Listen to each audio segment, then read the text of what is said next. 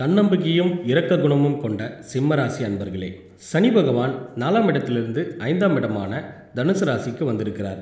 ஐந்தாவது ராசியான சிம்ம ராசிக்காரர்களே உங்களுடைய ராசி அதிபதி சூரியன். சனி பகவானுக்கு சூரியன் பகைவன். உங்களுக்கு செவ்வாய் நல்லவர் நண்பரும் கூட.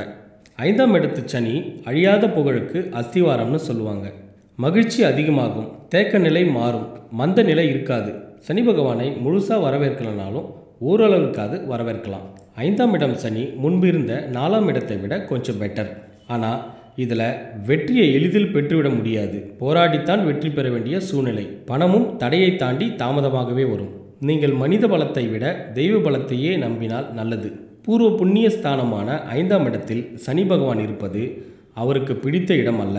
ஆனால் இதுவரைக்கும் நாய்ப்பாடு பட்டவங்க இப்போ அப்பாடின்னு சொல்லலாம். ஐந்தாம் இடம் சனி எதுவும் செய்யலைனாலும் அஷ்டமத்து சனி போயிட்டாரு அப்படிங்கிறது ஒரு சந்தோஷம் தானே சொத்துக்கள் கைமாறும் குடும்பத்தில் குழப்பங்கள் நேர்மையாக இருக்க முடியாது மன உளைச்சல்கள் பண நெருக்கடி தைரியமாக இருக்க முடியாது உடன் பிறந்தவர்கள் ஆதரவு கிடைக்காது.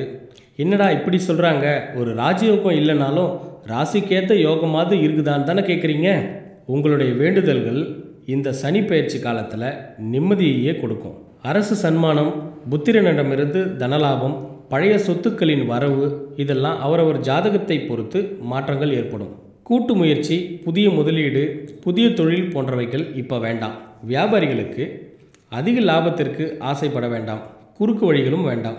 உத்தியோகஸ்தர்களுக்கு கவனக்குறைவால் காலை வாரும் நிலை உண்டு. அலைமோதும் புத்தி வேண்டாம். எச்சரிக்கை நல்லது. மாணவர்களுக்கு அம்மா அப்பா பேச்சை கேட்டு நடக்கிறது நல்லது. ரூட்டை மாற்றினா கோட்டை விட்டு விடுவீங்க. தொழிலாளர்களுக்கு தொட்ட குறை விட்ட குறைன்னு வேலையில் பலு அதிகமாக இருக்கும்.